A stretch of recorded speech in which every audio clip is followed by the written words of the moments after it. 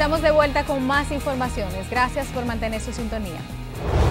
La tecnología nos ayuda a mantenernos comunicados con personas de todo el planeta, pero también ha permitido que se abran las posibilidades sexuales de las personas que buscan una relación fuera de su relación de pareja. Hoy en día existen varias páginas web donde las personas tienen la oportunidad de tener conversaciones, mantener una amistad, iniciar una relación de pareja o incluso tener sexo virtual con otras.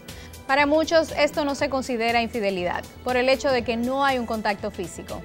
La nueva moda en este aspecto se caracteriza por el aumento de las relaciones y del sexo virtual, así como algunos chats que se han sido creados específicamente para que las personas sean infieles a su pareja. Todo esto produce reacciones en la relación de pareja, ya que la tecnología se ha convertido en una aliada y al mismo tiempo en una enemiga, si se utiliza para hacer daño o con malas intenciones. A través de respuestas.com recibimos un caso sobre este tema. Veamos. Encontré conversaciones de mi esposo con otras mujeres en una página. Me di cuenta que no era la primera vez que tenía sexo virtual con ellas. Esto me molestó mucho. Me siento traicionada, pero ni siquiera sé cómo tratar esto con él. ¿Qué puedo hacer? ¿Por qué los hombres recurren a esto? Tenemos el honor de contar con la presencia de la psicóloga clínica, terapeuta familiar de pareja y sexual, la licenciada Jessica Valdés, para que nos ayude con este caso y con el desarrollo de este tema. Licenciada Valdés, ¿qué nos dice sobre este caso? ¿Por qué las personas recurren a estas relaciones por Internet? Definitivamente, cuando una persona tiene que recurrir a un sexo virtual, es, porque no está cómodo en su relación de pareja, hay algo que no está funcionando y necesita recurrir a una herramienta que le haga sentirse o valorado, o querido, o apreciado. Pero es importante aclarar que un sexo virtual sí es una infidelidad, porque infidelidad es todo aquello que rompe un pacto de exclusividad en la relación de pareja, donde tú compartes con esa persona cosas que son exclusivas de la relación de pareja.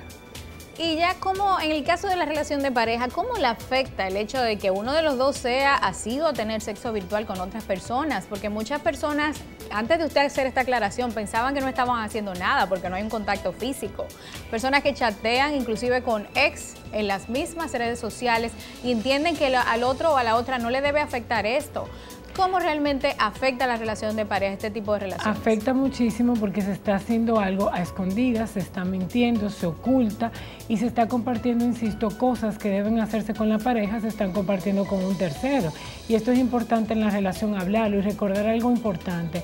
Cuando hay una infidelidad, el problema no es ni de él ni de ella, sino de la dinámica de la relación y donde hay que trabajar es la relación de pareja y lo que no está funcionando es la relación de pareja y, hay que ver qué es lo que hay que trabajar para que vuelvan a reencontrarse y evitar este tipo de situaciones. ¿Qué usted nos dice, licenciada, del uso de los chats para infieles que hemos visto en otros países y de tener sexo virtual? ¿Es más frecuente en el hombre o en las mujeres? ¿Cómo ustedes ven a nivel de psicología este comportamiento? Es importante saber que hoy día tanto una cosa le están haciendo las mujeres como le están haciendo los hombres. Ya nada es más del hombre ni nada es más de la mujer. Se presentan las dos situaciones y aprovecho también el espacio para aclarar algo. Hay un tipo de infidelidad que yo llamo el síndrome de la tacita de café son aquellos amigos que comienzan a charlar, que empiezan a hablar, que se toman un café, pero de repente yo me vuelvo dependiente de esa taza de café y con esa persona le comparto cosas que a mi pareja no le comparto y de repente no hay sexo, pero hay una intimidad y finalmente se llega a tener relaciones sexuales. Y eso también se considera una infidelidad. Wow, o sea que no solamente la taza de café, se puede compartir un trago también, se puede compartir otras cosas. Totalmente, porque tú estás empezando a abrir cosas que son exclusivas de la pareja, porque hay amistades que sabemos cuando son de amigos y cuando no. Entonces es importante tener claro que la infidelidad necesariamente no tiene que ser un tema sexual, sino cuando tú sientes que estás haciendo con otro cosas que deberías hacer realmente con tu pareja. ¿Y cómo pueden las personas identificar que este comportamiento de tener sexo virtual se ha convertido en una adicción? Porque hay personas que no saben hasta dónde está el límite normal en lo que tú acabas de decir. La adicción tiene que ver cuando yo no controlo algo, cuando eso puede más que yo.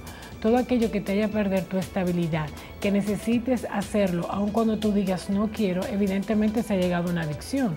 Entonces es importante tratarlo y trabajarlo e insisto, comunicarse con la pareja, porque la persona de este caso no lo ha hablado con su pareja, entonces es necesario que sepa y saque a la luz lo que está oculto. ¿Y cómo debe manejar, por ejemplo, una pareja que se dio cuenta que el otro está chateando y quizás no lo ha enfrentado por el miedo a, pensar que no está cometiendo ninguna infidelidad, pero vio una conversación sin querer que no le gustó? ¿Qué debe hacer? hablarlo y comunicarse, porque la única persona que le puede dar paz y hacerle saber si hay algo de qué preocuparse o no es la pareja. Hay que ver qué tipo de conversaciones son. Insisto, ¿qué tiene entonces que hacer la pareja para que no haya necesidad de buscar esas conversaciones con un tercero? Pero si hay un tercero donde deben haber solamente dos, evidentemente hay algo que no anda bien. Muchísimas gracias por sus valiosos aportes, licenciada Valdés. Apreciamos mucho que haya venido a ayudarnos con este tema. Una de las peores traiciones hacia nuestra pareja o por parte de ella es la infidelidad. Generalmente pensamos que la persona infiel es la única culpable. Sin embargo, la infidelidad es el resultado de la crisis de una pareja, pues quien es infiel lo hace porque busca en otra persona cuestiones sexuales, emocionales o intelectuales que su pareja no le da. La tecnología no es la culpable, porque nadie es infiel si no quiere y si se siente comprometido y feliz con su relación por lo que hace necesario evaluar la relación que tenemos y ver qué le falta o qué le está sobrando para evitar que suceda una infidelidad. Llegamos al final del programa, pero no me puedo ir sin antes recomendarles la nueva edición de Revista Respuestas que tiene un tema principal buenísimo.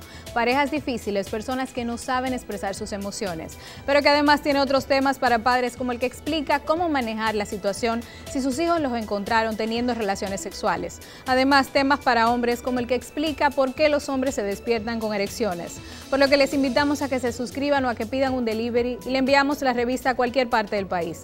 También pueden hacerlo a través de nuestra página web respuestas.com o llamando en horario de oficina al teléfono 809-685-4962. Estuvo con ustedes Elaine Félix, aquí en NCDN.